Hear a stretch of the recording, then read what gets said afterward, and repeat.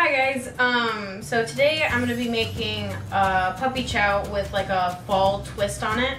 So what you'll need for this recipe is 9 cups of Chex, 1 cup of chocolate chips, a half a cup of peanut butter smooth, a quarter cup of butter, one and a half teaspoons of vanilla extract, and one and a half cups of powdered sugar. So in a pan, you're gonna wanna put it on low heat, very low, otherwise you're gonna burn everything. So you add your quarter cup of butter. Um, you wanna wait until that melts. Now that the butter is all melted, you wanna add a couple of chocolate chips. And wait for those to melt. You have to keep stirring, otherwise your chocolate is going to burn right away. Let me add a little bit more. And the other thing that you can use is a double boiler, but I do not have one. So if you don't have one, use the method I am using. Okay, now that your chocolate is melted, you want to turn um, your stove top to the lowest setting possible. Then add the peanut butter.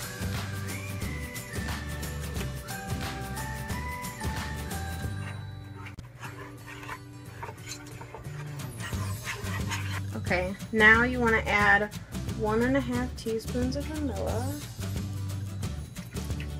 Your chocolate mixture. And this is what your mixture should look like. So then you want to pour chocolate mixture over your Chex. You want to mix it all up until all the Chex are coated.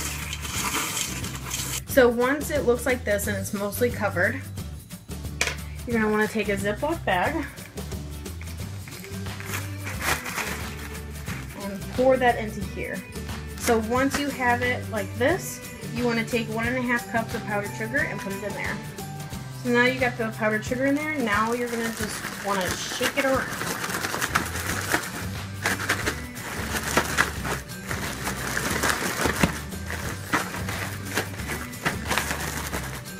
When it's all coated like this, you can either take a pan and put wax paper down and spread it all out so it cools. Um, or you can keep it in the bag and then just put it in the freezer for, for 15 minutes. To put the fall twist on it, I found these at Walmart and they're already open because we tried them and they're amazing. But they're pecan pie M&Ms. So I'm just gonna add them in there chocolate on chocolate. Okay, and they're beautiful fall colors. And just mix them in there. We're not all as dumb as him. Oh. Wait, I'm sorry, come back. Oh, you want some puppy chow? Sure. Get an M&M in there. Just a? Mm-hmm. Very There you go. Alright, well, thanks for watching, uh, subscribing, liking, leave a comment down below, and I'll see you next time. Bye! Okay, that's enough.